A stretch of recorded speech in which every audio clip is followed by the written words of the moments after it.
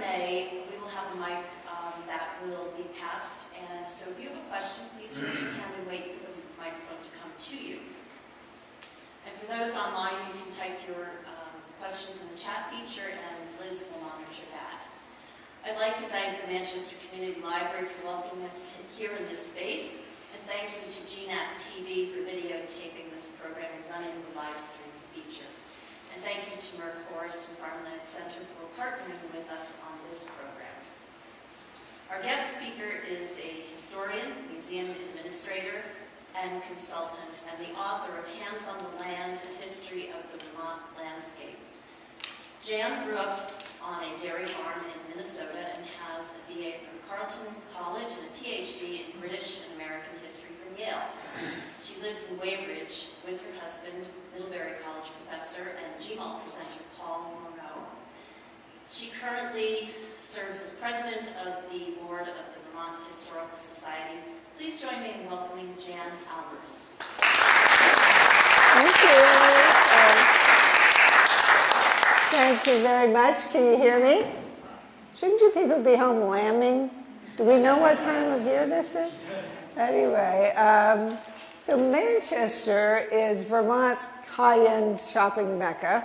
And amidst the luxury goods, it does not take much effort to find some items made from merino wool. From bat hats to jackets to sweaters to darn tough socks, um, but there you go. Um, you can outfit yourself head to toe in merino, and it's generally regarded as the highest, you know, on, on the scale of, of, wools, it's the highest. It's cashmere, is it really wool? Um, this is the number one. And, uh, and it has incredible special properties. It is moisture wicking. It has the actual Wool itself has a natural crimp in it so that it's insulating. It, um, it, is, it keeps the wearer dry. And people, it's so soft that people, including me, who can't wear other kinds of wool next to their skin, can wear merino. It's very, very special. And uh, you'd think this wonder wool is a new development coming to us over the last two centuries of breeding, but it has been, it has had these incredible properties since the late Middle Ages.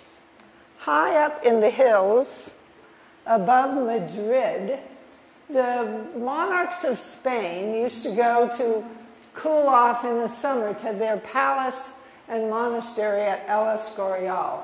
And on the, on the sides of these hills they raised the most amazing sheep in the world, the merinos.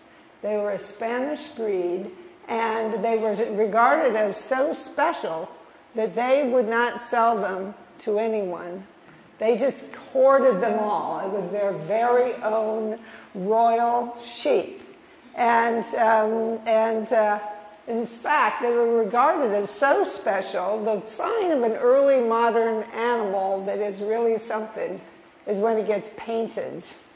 And uh, the, the merino, this is the very first picture of a painting of a merino. And it's called El Buen Pastor, the Good Shepherd.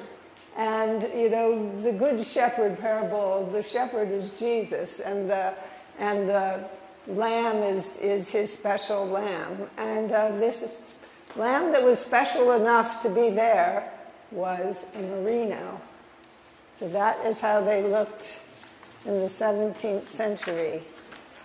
This Spanish royal exclusivity was all to change thanks to Napoleon. What's Napoleon doing in this story? He always seems to get into every European story, doesn't he?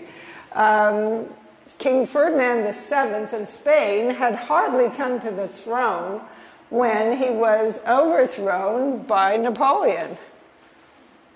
And this is a painting showing Napoleon, as you recognize him with the, always with the hat, um, taking the control of Madrid in 1808. And uh, Napoleon's armies knew a good thing when they saw it, and they had their eyes on the merinos, among many other things. So the Spanish elite panicked, and uh, they had always had a blockade, but they, they lifted their blockade to some of their best friends and decided that they needed money to fight Napoleon. They were going to have to sell some merinos off. And therefore, they, um, they started looking around for people they trusted because they didn't want them to become French merinos. so Ferdinand's loss was Vermont's gain. In 1810, a man from a Boston Brahmin family named William Jarvis, who President Jefferson had made U.S. consul in Lisbon, got a license from the Spanish government to export 3,638 merinos.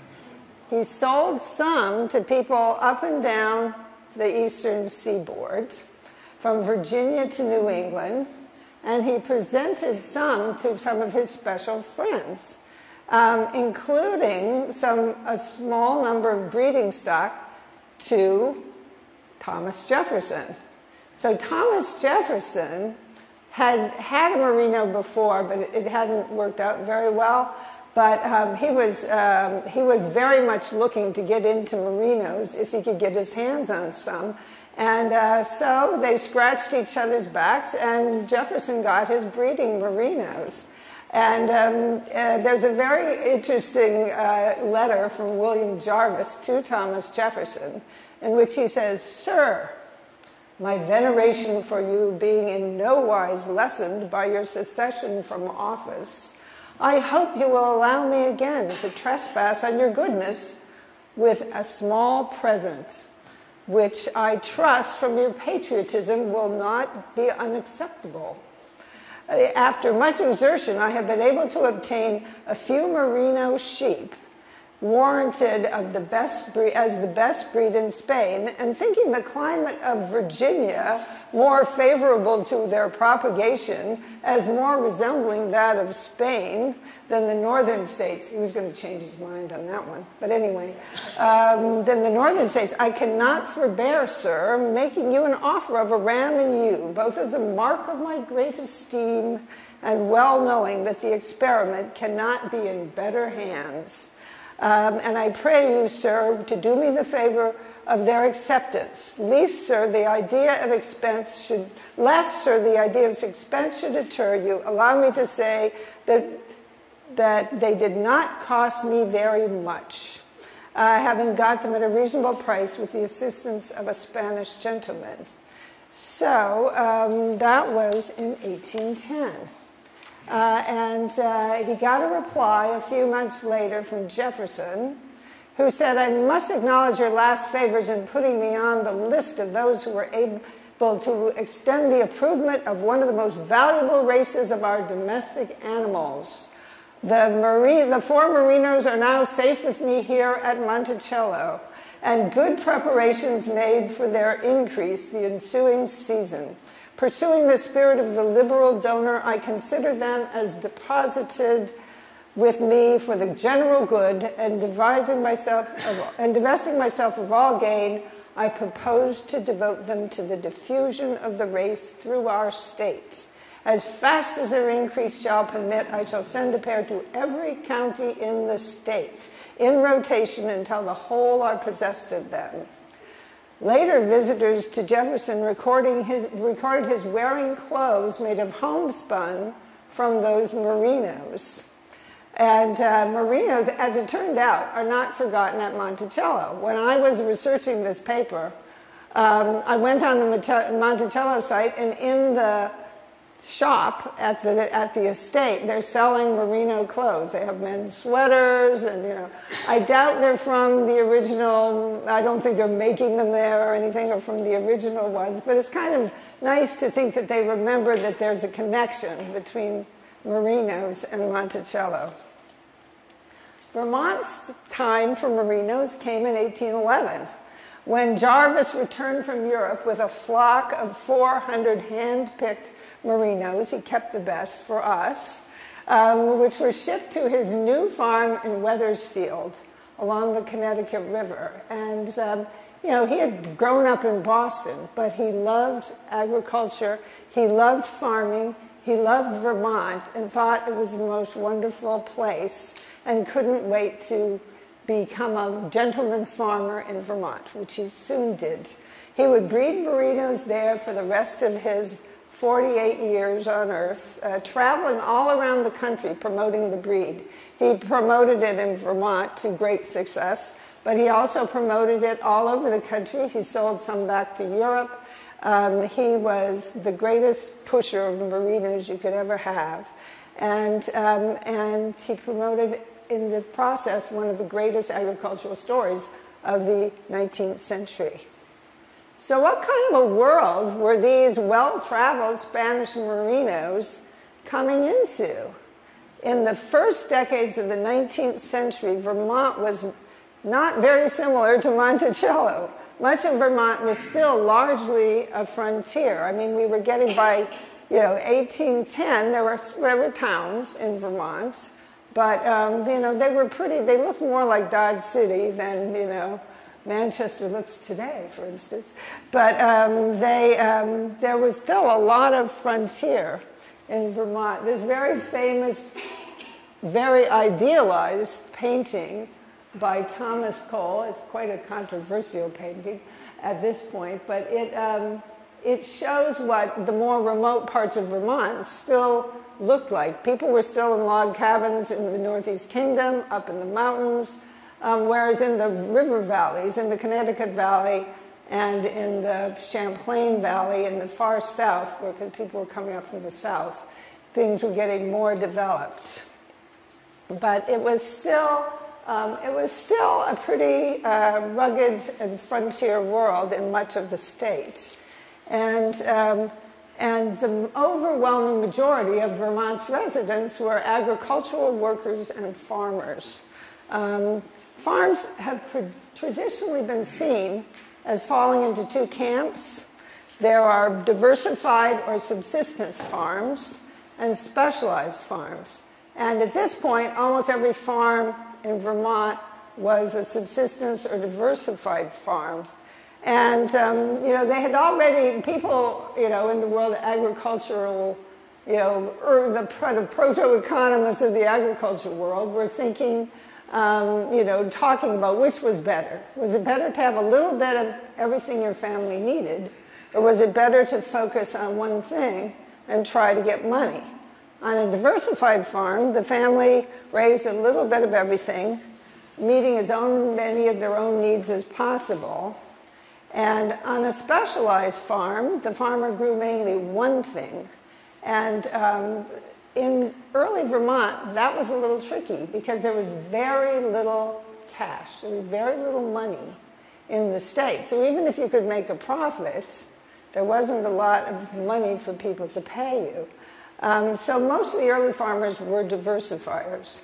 And, um, and uh, so the, most of the farmers were selling, I mean, they were growing what was called Indian corn and squash and beans, as, as the Abenaki had done as well.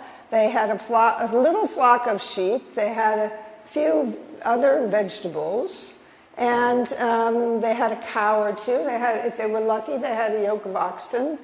And they had pigs. Pigs, you know, pork was the favorite meat of Vermont for at least 100 years. So they often had a fair size um, group of pigs.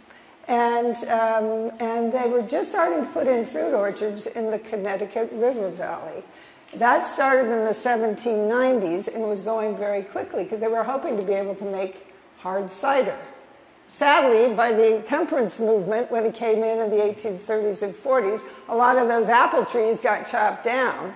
And uh, they're back now, but it's, uh, at least in the Champlain Valley, I know they are. Um, uh, but uh, they didn't last long the first time around. But, you know, some farmers were getting frustrated. They felt like, you know, I'm doing okay. My family is eating. We have a, we have a better house than the log cabin. We're coming along, but we're not getting ahead. Um, and we've got, you know, eight kids. They all want a piece of this. And how do we, how's anybody going to make it, you know, if we start dividing this up? And uh, so there was getting to be kind of a wish for something more to do. And, uh, and who should come along but William Jarvis and his merinos. Um, so in, uh, when he started selling them and propagating them and selling them around the state, there was a huge pent-up demand for some kind of a capitalist sort of agriculture. And um, he was the man for the job. He was generous with the flock. He, uh, he enjoyed a profit, but he was also happy just to be civic minded. And he always sounds like a lovely person. He was very civic minded and caring about the state. And um, by 1811 and 1812, about 20,000 merinos had poured into New England. So they came very, very quickly. It was a floodgate that was opened. And uh, the first merinos really didn't impress people. Merinos, when they're you know full of fleece, look big, but they're actually really tiny after you shear them. They're not big. They're not good meat. They're not good to eat. They're kind of bony old, old uh, lamb chops. Um, but uh, and then they have these big wrinkles in their frames, and the wrinkles were tricky and hard to cut. They had a huge amount of lanolin in their in their fur, so that they were in their fleece. So they attracted a lot of dirt because um, it would stick. You know, any dirt would stick to them, dirt and twigs and um, and so here's a flock of these dirty little merinos. You can see that these are white sheep, but they don't look very white. So the first people who saw them thought, nah, I don't think so. Um, looking back on seeing his first merino, William R. Sanford reminisced in 1865 I can well remember the first merino ram brought into my neighborhood. He was small and had short wool, which was very dark and crusty on its outer ends. So strong was the prejudice against him that one person gave notice to his owner that if he got into the lot with his native sheep, he would shoot him. But after a few experiments, the tide turned strongly in favor of those merinos. So, uh, so these, uh, the good thing about the lanolin in their fleece was it made them heavier. So when you sheared the sheep and weighed it, it was really a very, very heavy fleece. Um, and, uh, and that upped your profit because they were always selling them straight off the sheep. They didn't let them wash them out. and, uh, and this could lead to unscrupulous sellers um, who tried to pass off inferior non merino rams as merino breeding stock by concocting a mixture of linseed oil, burnt umber, and lamp black that closely made them look like this. And it looked and smelled and felt like real merino yolk, as it was called. This was called the Cornwall finish. Now, that was not an aspersion on the people of Cornwall. They weren't the ones doing this. They were trying to make them look as good as a merino from Cornwall. Um, and so they would, uh, these were often, when they started exporting them out of state toward the west, um, this is often the trick they would play, and they'd sell them to people in western New York. And then by the time they washed them, the guys were all halfway back to Vermont, never to be seen again. So, so that was another way of making a living on merinos, but not a very honest one. So the breed took off with lightning speed. Everyone with a place for pasture wanted merinos. By the 1820s, merino sheep had almost totally supplanted native breeds in Vermont. Vermonters believed their state was particularly suited to merinos, and the Champlain Valley was proving to be perfect merino country. It was said that on every hillside the flocks were grazing.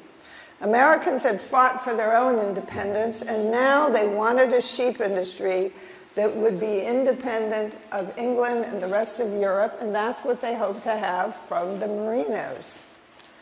Um, the rate of expansion was astounding. I mean, people whose fathers and grandfathers had cut the virgin forests to clear land for hard, hard scrabble lives as subsistence farmers were now finding that there were big profits to be made by specializing in one thing. Breeding merinos um, were, were people like the Wilcoxes of Orwell, the Jewetts of Weybridge, uh, and they were making a killing, breeding merinos with fleeces heavier than ever before. Sheep take a lot of grazing land, and the big operators were expanding their fields rapidly buying out the smaller, more marginal farmers around them, uh, many of whom gave up and just headed out west. Concerned about this trend, a Vermont Chronicle story in Windsor was exhorting his readers in 1834 Beware of the Western fever, and above all, sell not your land to your rich neighbors for sheep pastures. There was reason to worry as some of these uh, consolidations led to blights on the landscape. When the smaller farmers sold out and moved west, it paid the ne'er-do-well to buy up the smaller places, use the barns for sheepfolds, and let the houses just fall into the cellars. As sheep raising took up more and more space, other animals were also being squeezed out. Uh, in the 1830s, the numbers of cows in Vermont decreased by 13,000. Two year old stock by 15,000, and yokes of oxen were down by 15,000. This is, uh, in this picture, we see what, what it did to the landscape of Vermont to be clearing all this land for sheep. Um, I don't know how many of you watch All Creatures Great and Small. Have any of you seen Show of Hands? How many people have seen that show? That's in the Yorkshire Dales, and they look a lot like those hills in the background. They're about, the Yorkshire Dales are about 2,500 square feet. Ours are a little bit higher. But uh, anyway, this is Ludlow in 1859, and by then that process was pretty well done. And I'll a lot of sheep uh, had gone to the mill uh, for wool. I mean, a lot of wool had come out of those, those hillsides. Um, this gives you some idea. I'll leave this up for a bit. This is Vermont sheep populations from a survey of 1837. Every county had sheep. You can see how many. And after the county, it shows the town that had the most sheep in that county. So like Bennington had 69,828 and Shaftesbury had 12,000 of those. And you can go right down the list. I think Rutland County had the most. Windsor and Addison came next. But um, Shoreham in Addison County had more sheep than any other county in the world. 26,584. There was nowhere else that had that many sheep. I think it was 11 sheep to each person in, uh, in Shoreham. So uh, they were really getting around, and as you can see, it was worth a huge amount of money. There are a million, over a million sheep producing 3.571 pounds of wool, and the profit at 50.5 cents a pound was 1,803,751. I mean, that's staggering in a county that had almost no money before. Um, and this is just in you know 20 years. It's kind of amazing. And, uh, and uh, throughout the Champlain and Connecticut valleys, these sheep riches were showing up everywhere. Large fields, new white clapboard farmhouses, a proliferation of fancy carriages on the roads. It was difficult for traditional subsistence farmers to compete in the shadow of a sheep czar's rising mansion. There was a pattern to the merino's year. Lambing time was right around now in March. Um, days and nights were spent, uh, spent in the sheds, the winter sheds, um, while May was shearing time. Accounts of sheep shearing are something like we think of as haying. I don't know how many of you are familiar with hay, but they were sort of a, a communal neighborhood thing where um, the Quaker Robinsons at Rokeby and Ferrisburgh got, us, uh, got merinos early on, and they wrote about, Rowland Robin, Robin, Robinson, Robinson wrote about how the neighbors would come over and uh, he said um, when they had shearing, it was so much fun.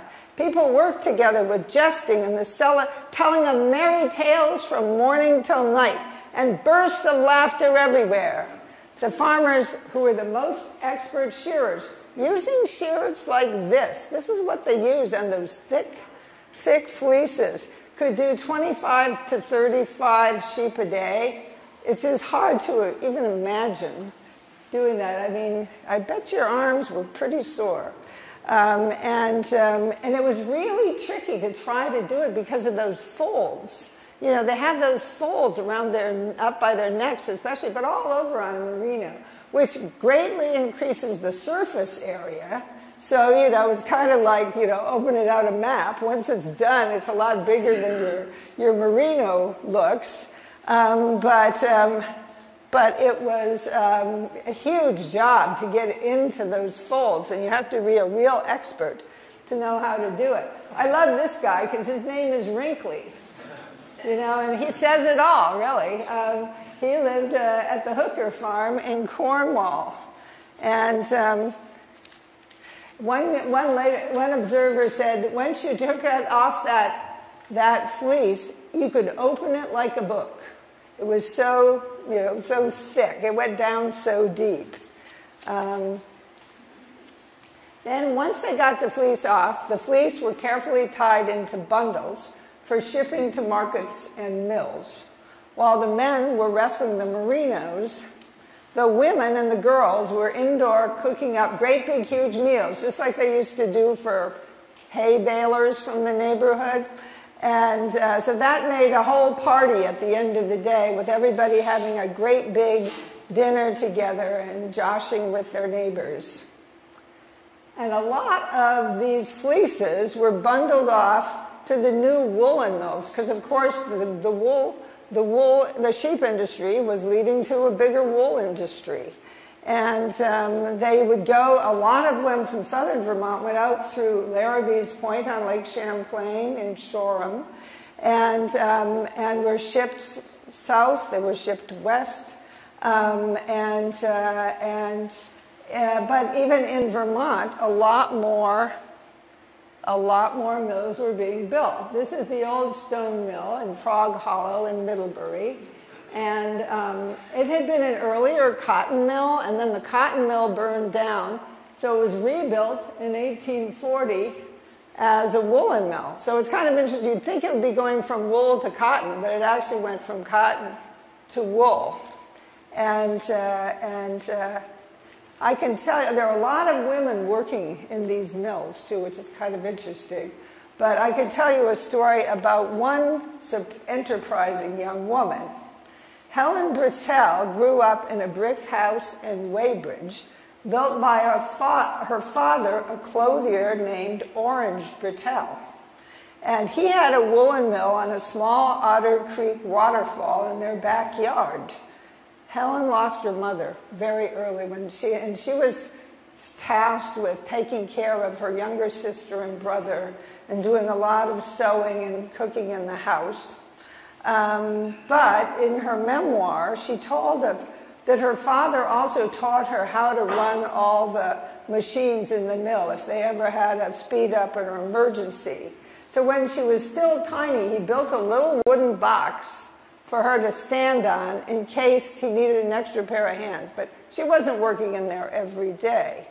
But this knowledge came in very handy for this bright young girl one day, as she later wrote in her memoir. I remember how one beautiful morning when father went to Vergennes for dye stuffs and oil for the factory, he gave my sister and me the day to go visit a friend in the country. And we were going over to visit Louisa Jewett, who lived a couple miles down the road, and her, her dad was one of the biggest merino guys in, in Vermont. Um, her father, Sol- Solomon Jewett, was a rich farmer who made a specialty of merino sheep. And several of the sheep's portraits hung life size in the parlor. About the time we were ready to go there, there came from Cornwall, the next town, a man with 60 pounds of wool to be carded for his wife to spin. He was much disappointed to find father gone and said if he could just have a few pounds of rolls, he'd come back another day for the rest. I felt confident that I could card a few pounds, so he waited until I carded six pounds and he went home well pleased. Of course, our visit was spoiled, but I had secured a 60 pound job, and what I, so what did I care?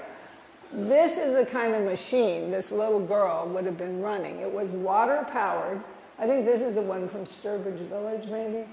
But this is, you know, would you want your 11 you know, year old girl standing on a box um, working on this? But, you know, all hands on deck in this, per, in this period. I live in Helen Brittell's house now, and when I hear the water going over the dam out back, I think of her standing on a box in that factory carding wool, and of the other girls who were part of the merino boom. A naive agricultural community did not fully anticipate the pitfalls of specialization. In 1840, it seemed like the sheep miracle could never end. And by 1850, the merino craze was almost over. How could this boom go to bust in one decade? The burgeoning woolen mills were demanding cheaper wool to make cheaper clothing for the mass market. You know, they were kind of being killed by their own success. Um, they were successful in their efforts so that the relaxing, they, I mean, they turned to the government to take off the tariffs. And they were successful so that the government started reducing tariffs on importing wool. And, uh, and then they took it off completely in the 1840s. So it was flooded with uh, cheaper wool from the opening West. Now, in this period, the opening West wasn't Kansas, it was Ohio and Michigan. They were getting about as far as Michigan in the 1840s. And uh, they were very interested in sheep too, but they just had easier terrain for, for growing these animals. And the opening of the Erie Canal, the coming of the railroads, which was raising all these hopes in Vermont that they were going to be able to go to Western markets now. It turned out the trains ran all in the opposite direction, bringing in cheaper stuff from the West instead of furnishing markets for our more expensive merino wool. So, what do you do when it's costing you more to feed your sheep than you can make for their fleeces? Beneath all that wool, merinos don't have much to eat. And so, up to two thirds of the state's merino sheep were killed between 1846 and 1850 because they just couldn't afford to feed them.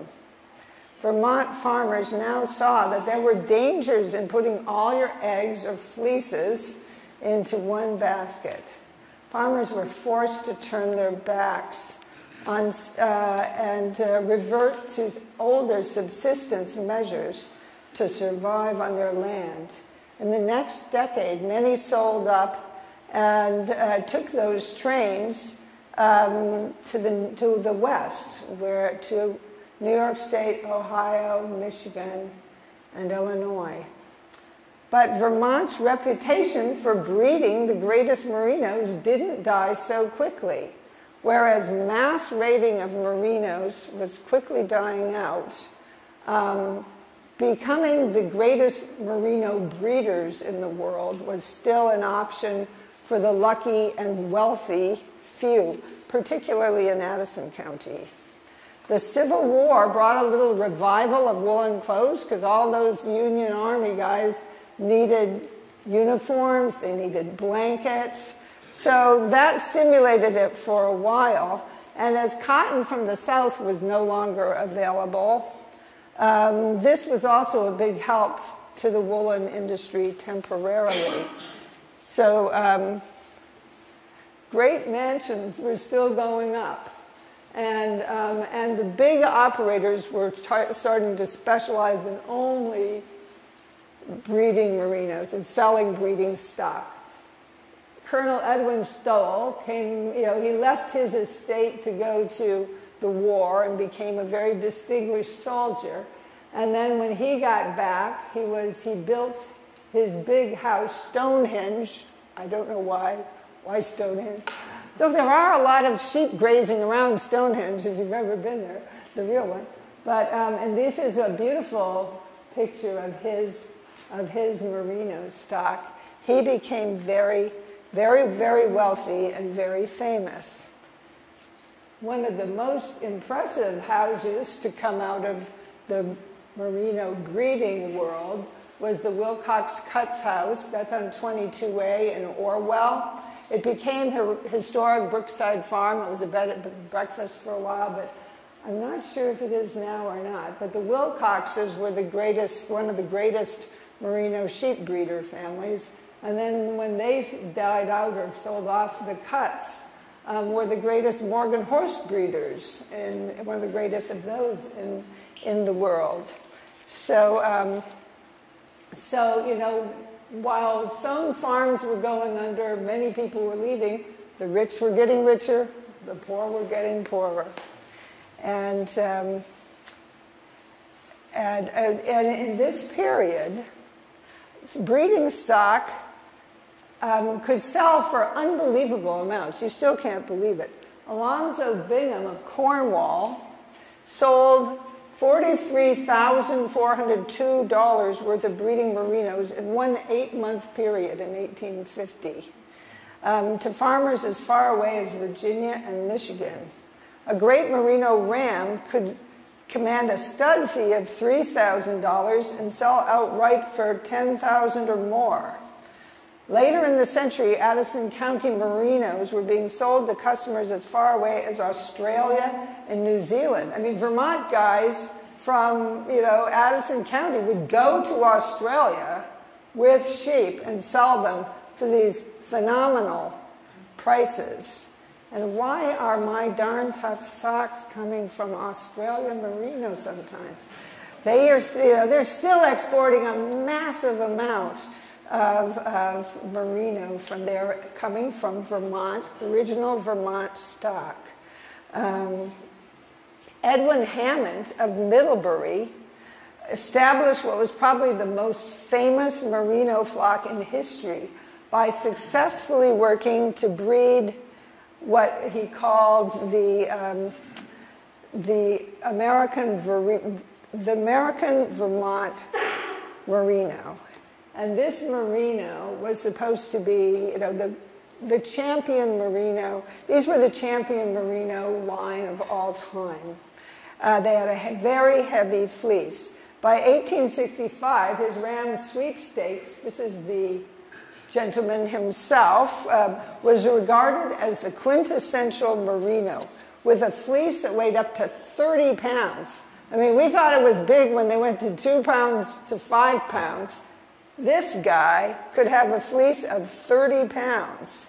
Rams were selling for huge prices, up to $3,500. Stud fees could be almost that high. Simeon Rockwell made $20,000 in stud fee for a champion ram over four years in the mid 1860s. Some of his rams were like celebrities, um, known to all. Everybody knew the names of these big merino uh, breeding rams. The Middlebury Register carried what amounted to an obituary.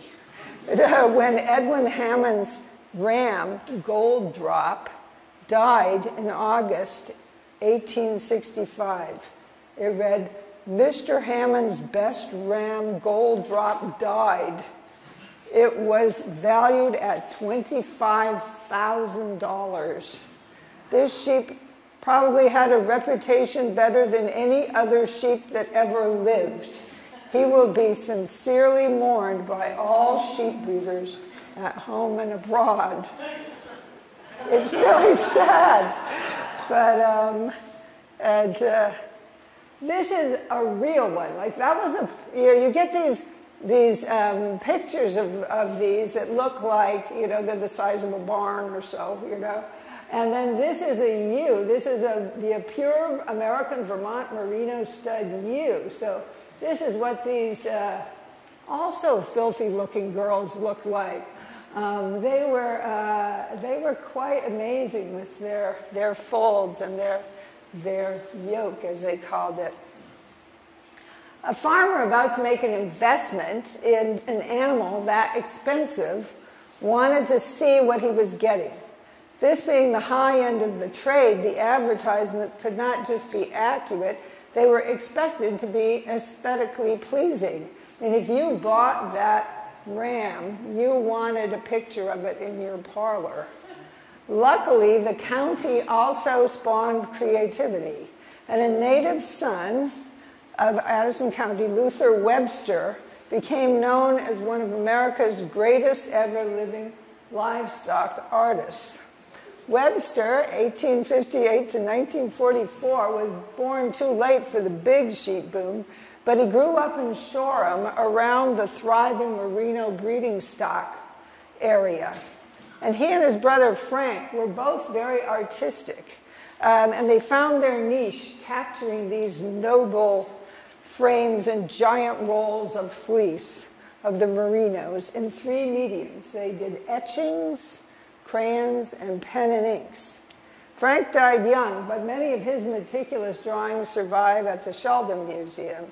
Luther thrived following the agricultural fairs around the country in the summer, fulfilling commissions. And I don't know if you can see, but all their names, these are used, and all their names around here. There's Dinah, number 130, Echo, Beldam, Daisy, and Columbia very noble, right here on the shore of Lake Champlain. Luther's eye for a good merino was not only artistic, he was enough of a specialist in the breed to be able to judge sheep at the famed Chicago International Show. He also enjoyed another career in livestock journalism, serving as field editor of the American Sheep Breeder and contributing to the shepherd's criterion. He knew how to spot a prize sheep like few men of his age because he had drawn so many of them. Prize pedigree merinos had spread all over the world. Sales that would soon put the Vermont industry completely out of business. By, the, by World War I, there were almost no merinos left in the state of Vermont. Most of the sheep industry was being replaced by dairying, as Vermont farmers could send oceans of milk in refrigerated trains now to the industrial cities all up and down the East Coast. And, uh, but many of the farmers who made this transition really missed sheep farming. nobody turns into a dairyman who could sheep farm. It's so relaxing. You know, you have the big, the big, um, you know, birthing time and the big shearing time, and a lot of the rest of the time, you know, the sheep's the sheep do pretty well on their own, but dairying, you're up, you know, you're milking at least twice a day, you're haying, you know, it's a massive change to the system to be dairying. I grew up on a dairy farm. I love those cows, but I know how much work it was. So, um, the merino sheep boom and its bust taught Vermonters some happy lessons and some hard ones as they went from a subsistence economy to specialization. And subsistence had made it possible for farms of all sizes to provide a living for families um, by letting them do for themselves. But it didn't bring in much money. The specialization brought in huge amounts of money and created the smooth hillsides. You can even see there's some of that in, in that, that picture. Um, but, um, but it also um, led to the horrible bust and a lot of families suffering. Um, and, uh, but, you know, we grew up in a nation of tree lovers. Now everybody is so happy, you know. Vermont went from 75 to 80 percent deforested in the sheep, uh, you, know, you know, the late 19th century, to 75 to 80 percent forested again as we are today. So, and we know the ecological benefits of, of trees. But um, people who grew up in the deforested Vermont of the sheep era missed its openness and its huge vistas and, uh, and really mourned it when it was gone. As one Vermont woman, Ruth Dutton, looked back from the 1930s to her childhood in the sheep era, where everything was looking like this, she said, I grew up on a farm, and someday I hope farms will come back. I'm looking for the day. Oh, it makes me sick.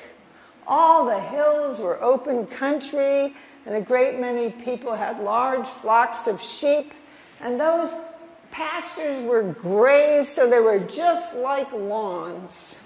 There was no brush scattered around. Well, all those hills are grown up now. No one who isn't very old can remember how they looked. The cattle and the sheep were turned out in the spring and got in in the fall and kept in barns through the winter. You went up once a week to salt them and they were all right. They were happy. But now it's all just growing up to wilderness. It was agriculture more than all other changes put together that altered the look of the Vermont landscape in the 19th centuries. It was farmers who chopped down trees, cleared out brush, built houses and barns, planted the crops, created the meadows, and scattered them with sheep and horses and cows. A landscape that had once been overwhelmingly green and dark, dense with trees, was then opened and swathed with the colors of the crops, light greens and dark, golden wheat, blue flax, and red clover. Every color represented a choice that somebody made about what to do with the landscape. The Green Valley pastures were planted with rows of corn, and trees began to grow back up on the hillsides. The rich farmland of the valleys lay as multicolored tables below the dark regreening of the green mountains. It's lambing time now, and you can still stand outside on a cool spring night in Vermont, listening for the ghostly bleating of the lambs. I'm not giving my lamb. Is that cute? anyway, that's our talk. Um, does anybody have any questions? Thank you. Thank you. Any questions, anybody?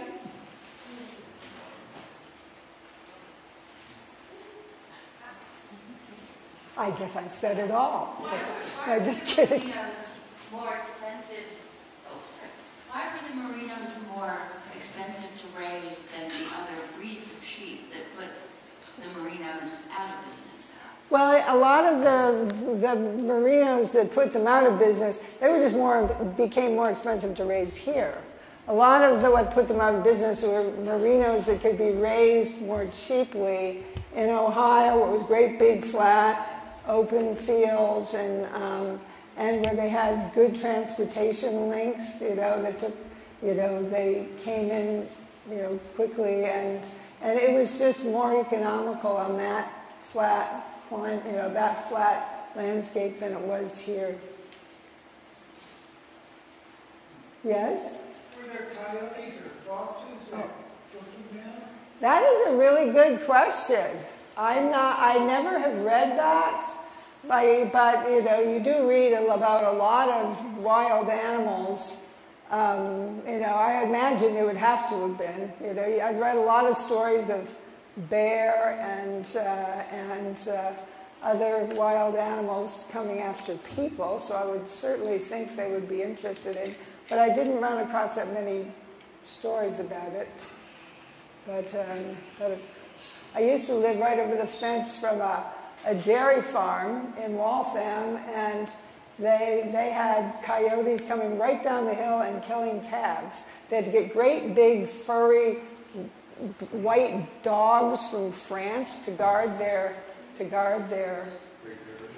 I, they weren't Great Pyrenees, but they were nastier than it. They looked like one, but they were a lot meaner. so there's still it still happens. So I imagine it did, but I haven't seen stories. Yes, back there. You know, hang I'm sorry. Oh, sorry. Oh, sorry. You're, you're running around. Okay, I'm sorry. It's okay.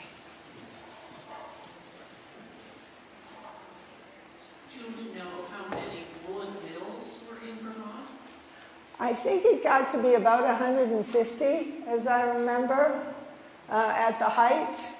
And then a lot of them, after the Civil War, some were converted to cotton mills again um, when cotton came back in. But a lot of that moved out of Vermont as well. Right. Yes.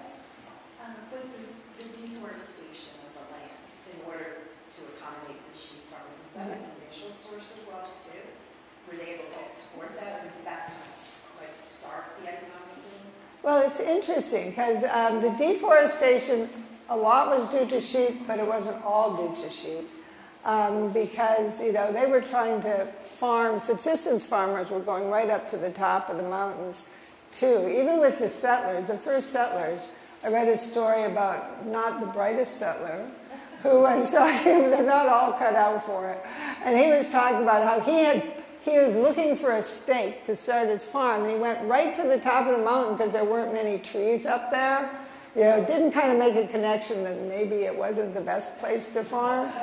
But, uh, but there you go, you know. So, and so they were cutting them, and, and potash, which you get from burning your, um, your trees when you were clearing your stake, that was sent to England and powered the Industrial Revolution. It was used in a lot of industrial processes in England um, in the 18, you know, late 18th, early 19th century. So that was a way early farmers made some money. And, um, you know, they could bring, you know, so there was, you know, subsistence farmers were also clearing the land. But, um, but as the farms on the top of the hills proved to be not very um, productive for cropping, um, they, you know, they worked for sheep. You know, sheep can go anywhere. And, um, and that's, you know, they, we had a lot of our, you know, we always raised rocks better than anything in Vermont. And they had, you know, so we did have a lot of stone walls up in the sheep country, um, which you can still see in the woods nowadays.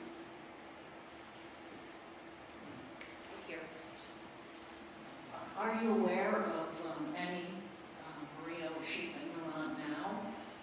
I know that there was a woman on um, Route 7 across from Rokeby, um, which is now a historic site, the Robinson's house, and she had Round Barn Farm merinos. Round Barn Merinos.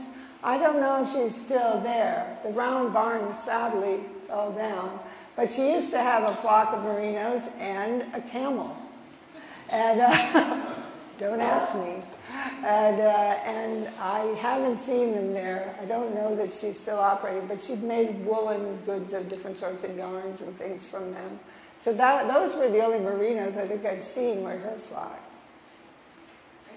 Can you, can you talk a little bit more about the relationship between sheep farming and stone walls and what they were used for aside from farming rocks?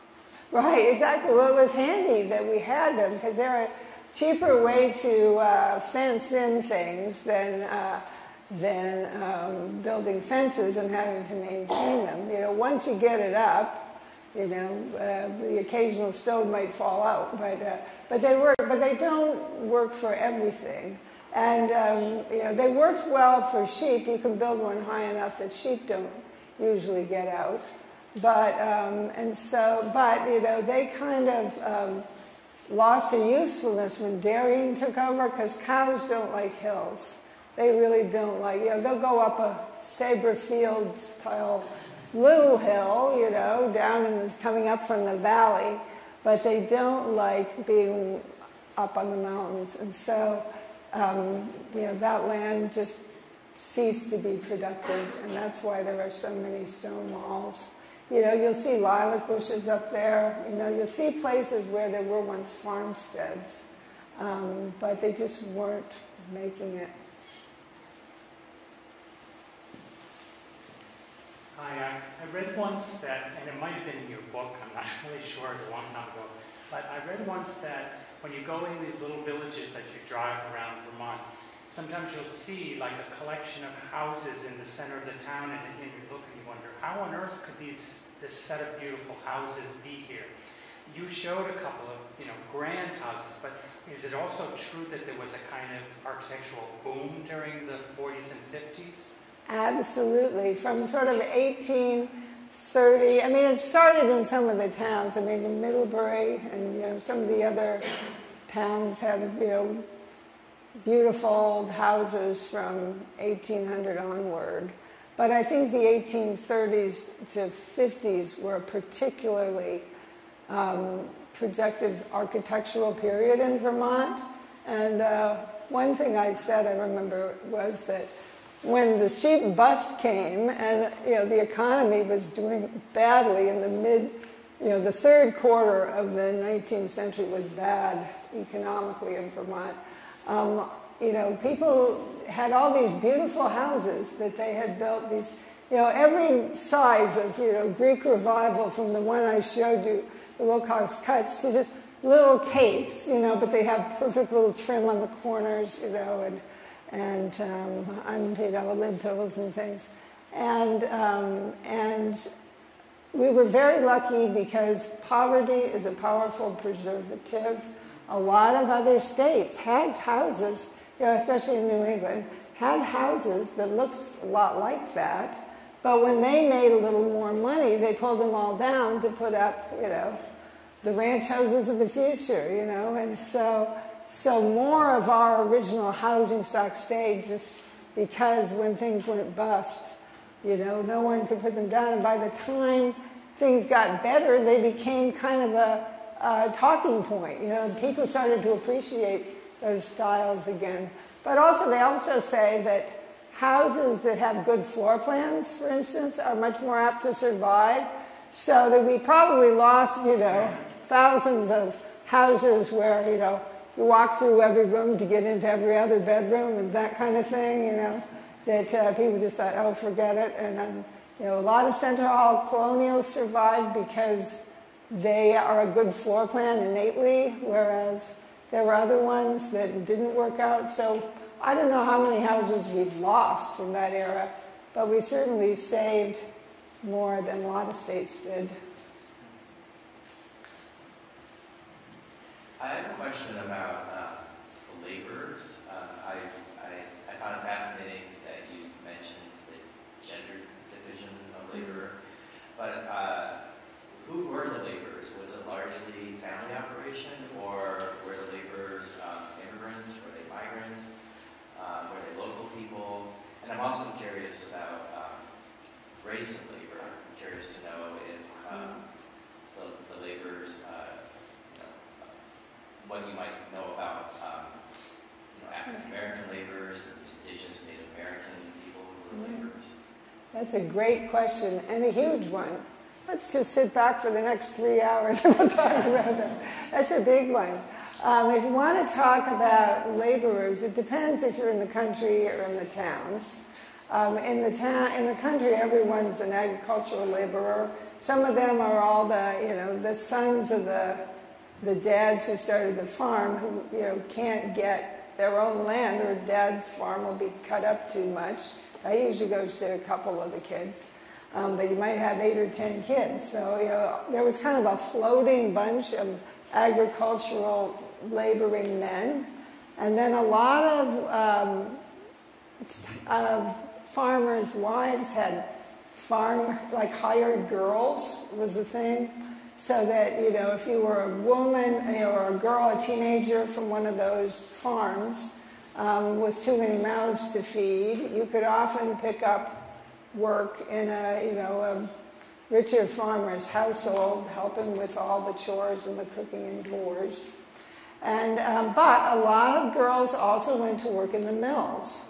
The Sheldon Museum in Middlebury has a fascinating run of letters and stories of mill girls who worked at the mill I showed you and other mills around Middlebury and just talking about their lives.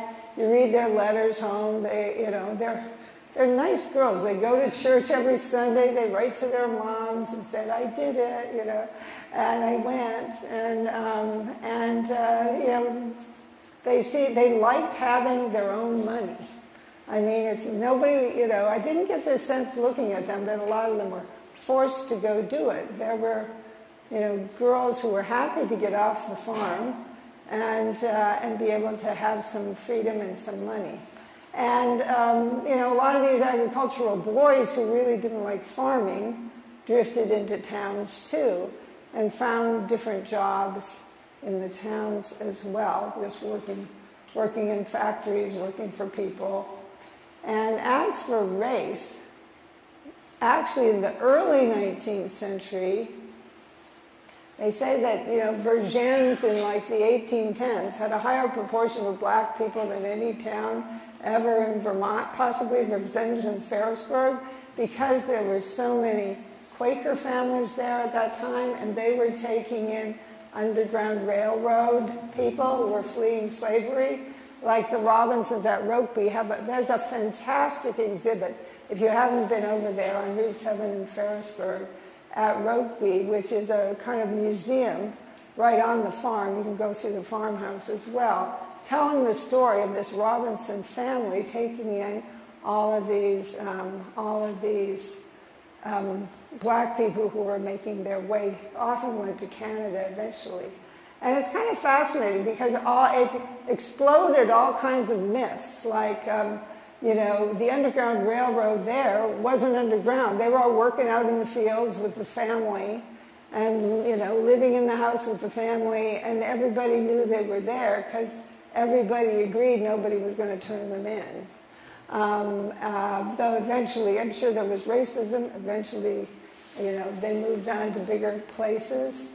But, um, but it's kind of interesting. Also, they traced where one of the, the papers of one slave, they traced him back to the place in, was it South, one of the Carolinas, where he had come. And they, you know, the director of Rokeby at that time, Jane Williamson, was expecting to see something with columns, you know, some big estate. It's this little broken down farm.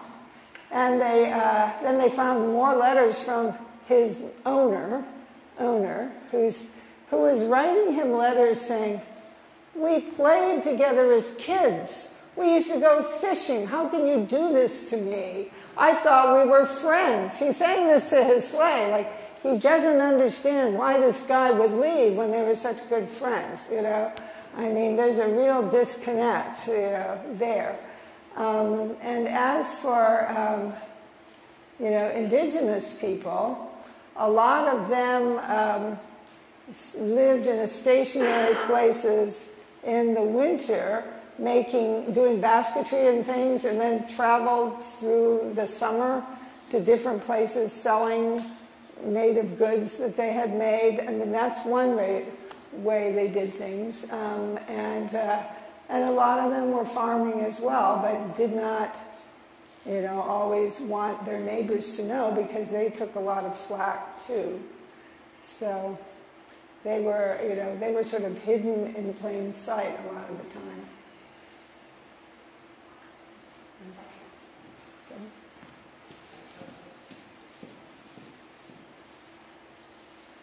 I'm curious if you might know that big um, farm in Orwell that you cited in your talk. Might they be related to the Wilcox family that makes all the good ice cream here in Manchester? Oh, that's a great question. I don't know. I don't know. I'll see if I can find out anything about that. I don't know. More power to them. That's all I can say. Whether they are or not, I'll buy it. Uh, I think there was another man who had his hand up over here. Maybe no.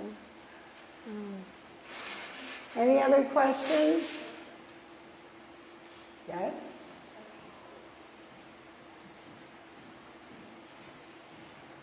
I realize that the Merinos aren't uh, noted for their meat, but were the Vermonters eating a lot of lamb? And if they did, did they continue after all those Merino men?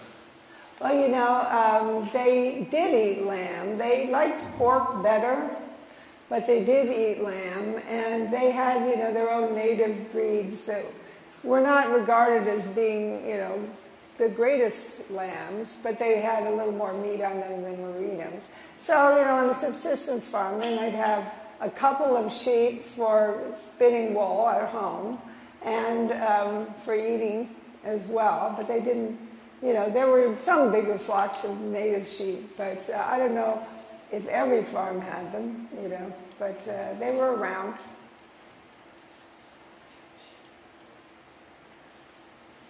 Any other questions? Thank you very much. Thank you all. Uh, thank you, uh, thank